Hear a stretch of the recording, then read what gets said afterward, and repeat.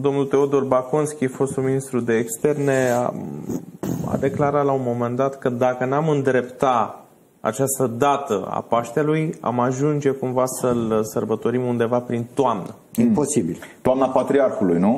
De la râsul Patriarhilor la Toamna Patriarhului.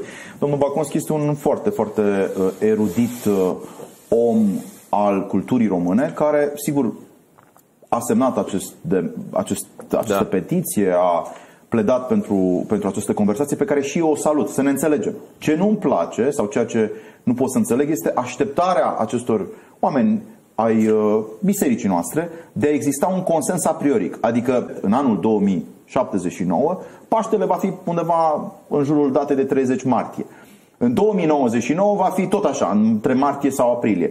Este o falsă, este o falsă, să spunem, uh, bombiță retorică cu care trebuie să